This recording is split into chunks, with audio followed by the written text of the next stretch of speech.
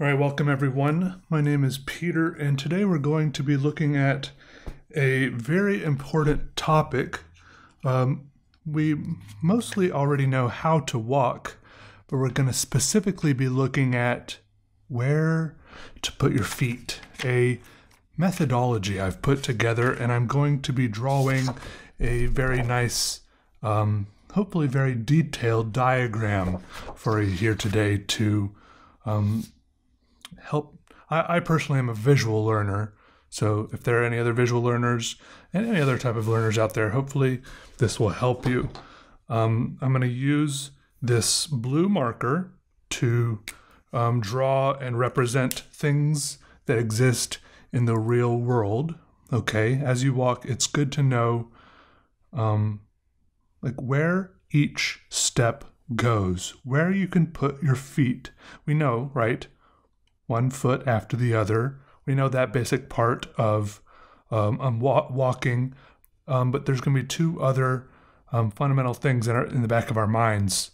Um, first of all, we know step on a crack, break your mother's back. Okay, that is something I'm building off of, but um, cracks are almost down at the bottom of our hierarchy because cracks are often so wiggly, squiggly, unpredictable, and because they're not straight lines a lot of the time, they're unsatisfying and therefore unimportant.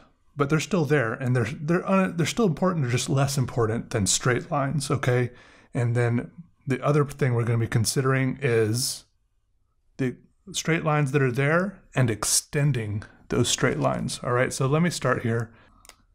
So I'm just going to kind of draw a little representation of the road here, and it's not going to be all to scale. That's all right. So here's a road. And for example, here, uh, you know, you, you walk this way down the road, for example. I, I usually do. And here is maybe the curb, right? And then sometimes uh, on the curb there is uh, there's like a gutter type of thing built into it. We'll put that here. All right, curb and gutter. Nice. And then sometimes, usually in the curb, the way they form it with the concrete, there are usually divisions in the curb which form lines every so often, right? And these lines are very important because as we walk down the street here, this is usually the perspective that we have. We walk down the street this way. Um, these lines, even if we're not walking on the curb or in the gutter, and I do sometimes walk in the gutter because it's kind of wide, this is where I'm going to draw my first red line. And these red lines are important. All right, you can step on any of these blue or bluish green lines. They don't matter as much. These red lines uh, are the important ones, okay? Here's a red line. Here's a red line. But the important thing here is that it extends out into the road. And I'm doing little dotted lines here because the further away you are from the curb and the gutter, like if you're maybe two or three feet out into the road uh, and you're it's out of your immediate area, then you don't really have to worry about it. But as you're walking down the street, if you walk down next to a line in the curb or the gutter next to you, you step over it. Don't step on the red line. Even if it's not physically there in the road, you want to step over that, all right? Another feature that might exist, not immediately on the road, but once again next to it, are, uh, at least in the neighborhood I walk through, is there are often driveways. And there, are, for some reason, well, actually, I think it's uh, apparent that they're they're shaped like this so that they're maybe easier to pull into and out of onto the road. They're shaped like this, and you might think, once again, we extend the lines, right? And that is that is a good assumption, and you could do it that way. Okay, I'm not I'm not telling you what you need to do. I'm just telling you what I do, which you probably need to do. But in this case, I mirror the driveway lines over the curb. So in this case, these would be mirrored here, like so. Once again, these are the red lines that you don't want to step on. So if you're walking along here, step over the red line, step over the red line, keep walking, step over. And once again, if you're walking in the middle of the road, you don't have to worry about this stuff, but there will probably be other stuff that you need to worry about. Driveway. Okay. Same thing applies if people have sidewalks going from their houses uh, down to the road. Here's the sidewalk. This one's pretty straightforward. That's right. It goes straight out into the road. So step over, step over, keep walking. Also, if you do want to walk in the gutter, uh, you're going to want to step over the seam or the line between the gutter and the rest of the road. Um, partly just for safety because sometimes there's a bit of a lip there and you could roll your ankle. This is looking pretty good so far, pretty simple. Down here on the other side of the road, you can assume there might be a curb here too, but I'm not going to draw it. Um, I'm going to draw the top-down view of what uh, this is like a representation of a car. Okay, and uh, you know it doesn't really need to be, look perfect. Like this is this might I, I really shouldn't draw this because it'll just complicate it and uh, make it look messier. But you know maybe this is the the windshields. You know these are the the windows, etc. Right, just to help you. It's probably just making it look worse. Okay, you know headlights. I don't even know which end of this car is the front or the back, but this is a car, okay? The important part about the cars uh, that you need to pay attention to is not the front edge or the back edge or the sides or anything, it's the tires, okay? So there might be a tire right here. I'm going to emphasize a little bit. There might be a tire right here. And there's probably one right here. I'm drawing them really wide, probably wider than they really would be unless this is some sort of race car. Here's a car with a tire, and I'm going to draw another car right here actually, because I want to show you another example of how they could be. Cars that are parked by the side of the road are a big part of uh, what you might run into. And how you interact with these tires is incredibly important because you're going to be walking along this way, okay? And then you're going to walk up closer into the middle of the road and beside them and and then back close to the side. This is how I walk during the day at least. In the in the at, at nighttime I just walk right down the middle of the road and once again I kind of ignore the cars because I'm not close enough to them. Like I said before there's like a little bubble around you, maybe one maybe 2 feet in radius. How the cars affect you is just how they touch where the where the tires touch the ground, okay? It's kind of like there's a little square where the tires make contact with the road. Like so. See these little squares here? And then these lines extend outward. But your feet can't fit in this area, so this whole area is kind of a no-no spot. And these are kind of some of the more difficult areas you might interact because you might have to take a slightly bigger step. Out. No-no area. And they also extend backwards behind the car. Like so.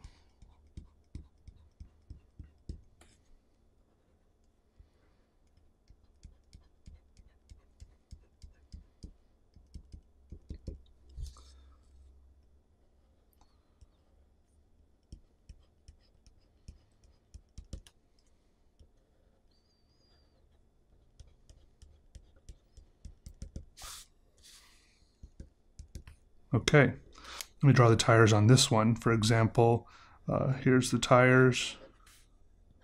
A very short car. And sometimes the tires have are, are canted in the front as they park, right?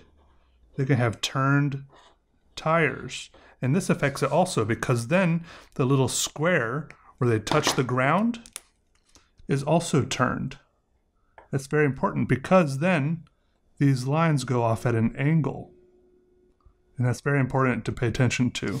And these lines go off at an angle.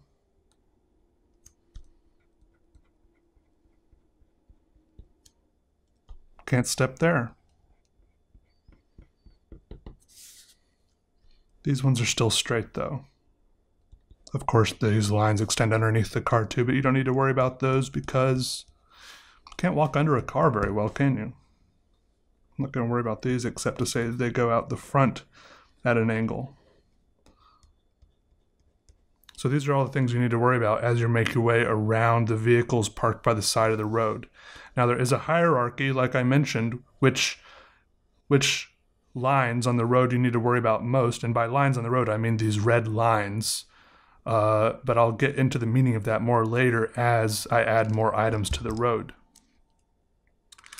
One other thing you might find on the road, and this is another thing you might run into more as you walk down the middle of the road, is sometimes there are just square cuts in the middle of the road. And these are pretty satisfying. Uh, now, they're even more square than I've drawn them here because they're cut with like diamond blade buzz saws by construction crews as they do uh, various types of ma- maintenance on the road, on the water lines or something, right? They're just, I call them square cuts, but they're usually rectangles, but they have square corners. And it's also very satisfying because usually this the corners, the cuts overlap a little bit like this, which help me and help you mentally extend the lines a little bit, right? So obviously, you can't step you can't step on the lines themselves. These are all red. Can't step here, here, here, or here, but also these also extend here and here. Just as far as you're near them.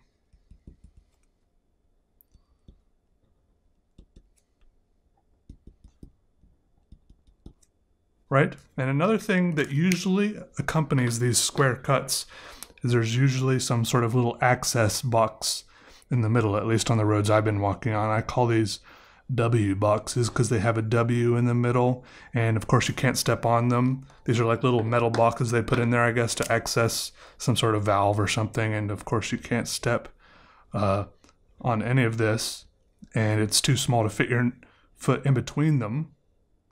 Uh, so I don't, I don't think it usually goes past the edge of the square cut box itself because just because of how big they are. It's just out of out of your range of concern, if you will.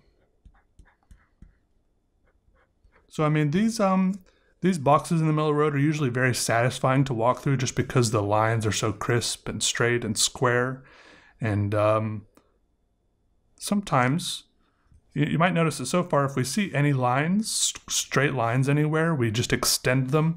There are some exceptions to this. For example, um, going along with the, this utility and road worker stuff, sometimes there are bits of spray paint that they spray. Like they might just like, wait, let me do some labeling really quick.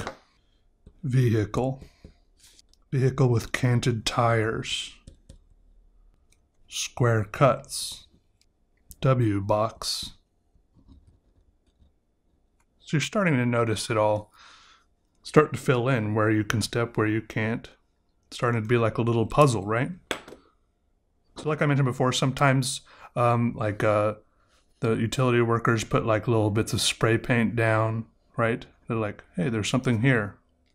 Of course, you can't step on that. That's that's easy. You can't step on any of that. And it extends a little bit too. Easy. Spray paint. But sometimes the utility workers will spray arrows. And the arrows are very interesting to me because if they spray an arrow like this, I misspelled misspell that. Spray arrow. This is one of the few times when the lines don't keep it extending. And you might think, hey, yeah, definitely don't step on the end of an arrow, right? But you can actually step on the end of an arrow. Here, maybe not because there's a curb, but in this case, the arrow creates a very nice place for all of these these lines to conjoin and terminate. So in this case, the lines would just extend outwards from the arrow like this. And every time I draw dotted lines, it's just because they pretty much extend as far as you want them to.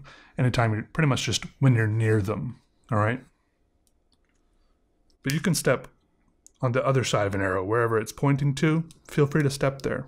All right, the next big thing, depending on your road, that you might find uh, all over your road is cracks and cracks that are patched. There's two different types of cracks to me, like um, the cracks that are patched and the ones that aren't. Because the cracks that are patched, uh, I'm gonna, just going to draw some cracks here, you know.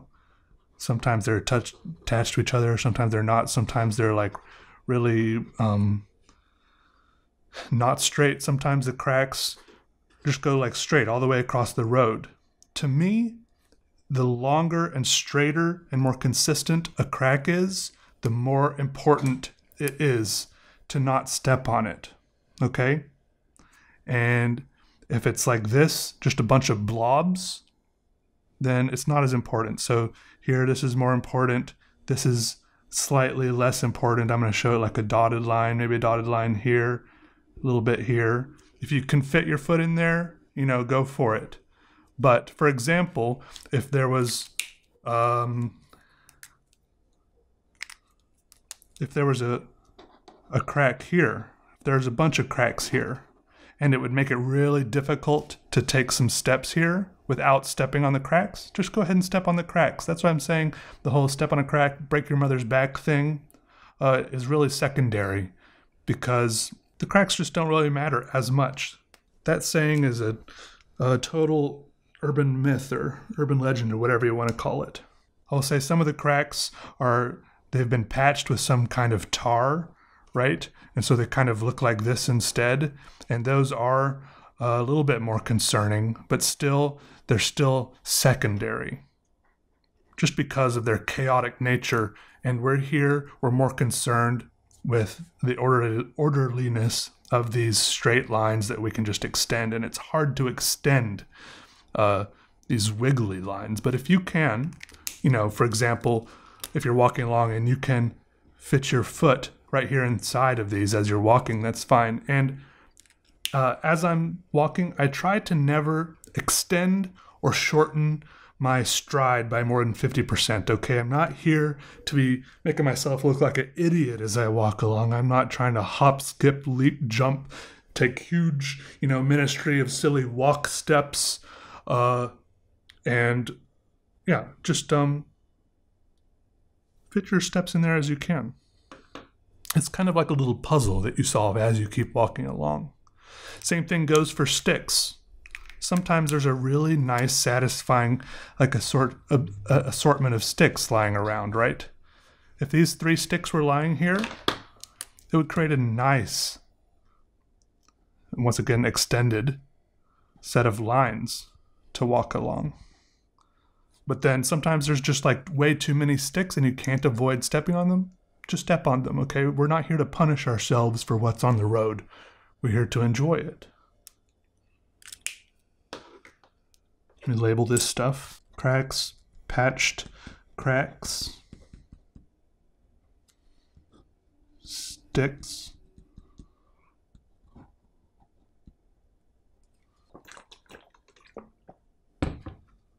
Now, weirdly enough, one of the things that throws me for the biggest loop is manhole covers, and I'm gonna I'm gonna draw one here, maybe slightly bigger than it actually is, just so it's easier for you to see. Here's a manhole cover, uh, and at least uh, in my neighborhood, most of the manhole covers, uh, first of all, you can step on these round lines. The rounder lines are, uh, the more okay it is to step on them.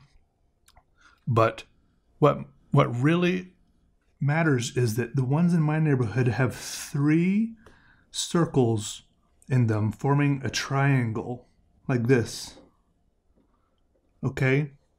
And that triangle is what's so important do not step on the triangle that is formed by these three lines. And also, what gives me a lot of trouble is that I can never quite decide in my mind whether these two lines at each corner of the triangle come together, for example, to create a line that goes straight out, right? And should I avoid that line? Or do they each continue on their own? Like this. So these are two different ways to do it that both work, okay? You have to decide what's right for you.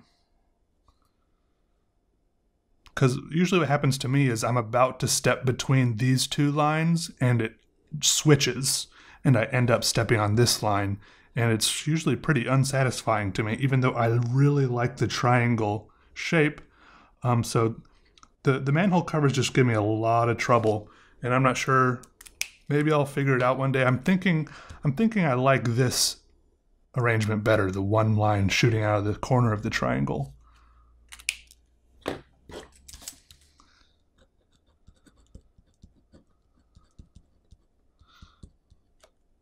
manhole. Either.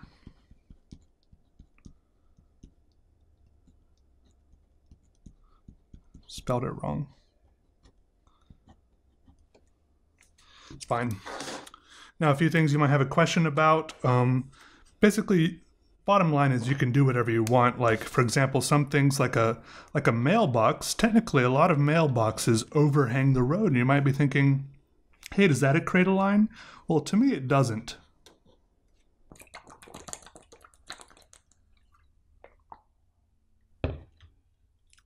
Mm. Excuse me. To me, it doesn't because no part of the no part of the mailbox actually touches the road. The mailbox post is usually up off the road. Same thing with like um well not the same thing, but like a lot a lot of days there's big trash bins and they are usually kind of rounded. But if I tried to make a line out of these trash bins that are sitting by the side of the road, they would just it should be too much. Right? They're too big. I would have to take I have to take big, goofy strides to get around a trash bin if I turn it into a line. So basically, here's here's my hierarchy um, for which lines are more important than others. All right. For some reason, car tires are the most important. All right. I will step on every other line before I step on a car tire line. By that, by that I mean these lines coming out right here. And then after that, pretty much all tied in a dead heat is these actual straight cuts, cracks, or seams in the road, like these square cuts. Um, and actually, I'd probably, yeah, I'd, I'd, probably these square cuts are next most important. And then after that is these extended straight lines, like from W boxes, sidewalks, driveways, manhole. These manhole lines, I've ever figured them out. Straight spray paint's pretty important. And then lowest on the list, once again, are these cracks and squiggly cracks and stuff and sticks. Um, they can be they can still create a really nice rhythm sometimes uh, if you if you play it right and you get you can get into a habit of seeing what's coming and kind of pacing and measuring your steps just right. So it can be really cool. And once again, there is a hierarchy within the cracks themselves, as some cracks are much. There are some cracks that are almost as straight and satisfying and crisp as uh, man made cuts.